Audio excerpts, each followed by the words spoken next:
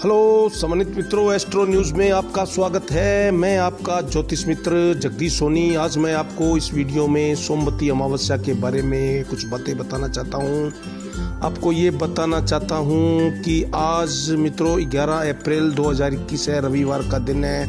अमावस्या आज भी थी और कल सुबह 12 अप्रैल 2021 सोमवार को सुबह 8 बजे तक चित्र कृष्ण अमावस्या रहेगी। यानी कि सूर्योदय के समय भी अमावस्या रहेगी, इसलिए सोमवार के दिन भी अमावस्या तिथि मनाई जाएगी।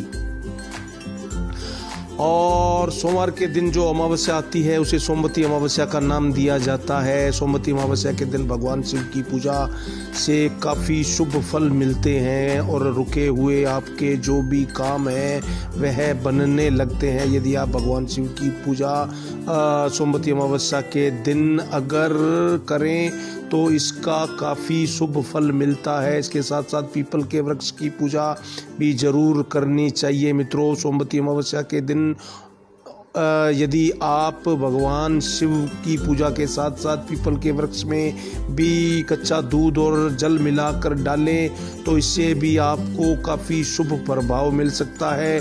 आपके जीवन की जो मुश्किलें हैं, मुसीबतें हैं, जो संघर्ष है, वह भी आपका संघर्ष जो है, वो वो समाप्त हो सकता है।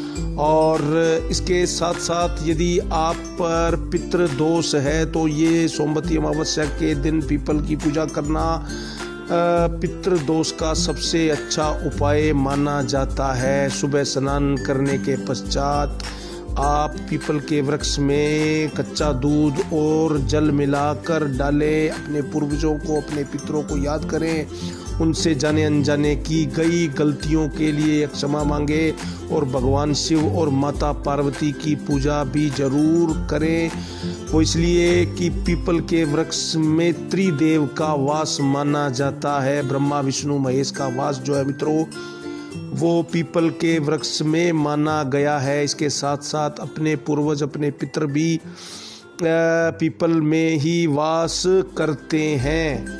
तो इसलिए सोमवती अमावस्या के दिन पीपल की पूजा ज़रूर करनी चाहिए और सूर्य, और सूर्यास्त के बाद जो है उसी पीपल के नीचे सरसों के तेल का दीपक जलाना चाहिए।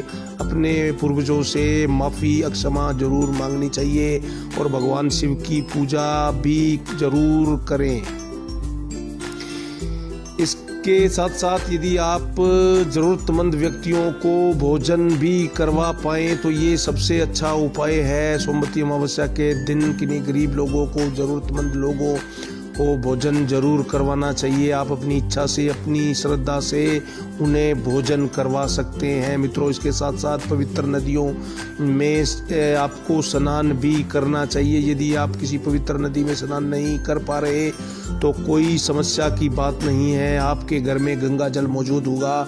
सुबह अमावस्या के दिन स्नान करते समय थोड़ा गंगा जल जो है, वो स्नान करने वाले पानी में डालकर उससे स्नान कर सकते हैं। उसका पुण्य भी आपको पवित्र नदी में स्नान करने के बराबर ही मिलेगा।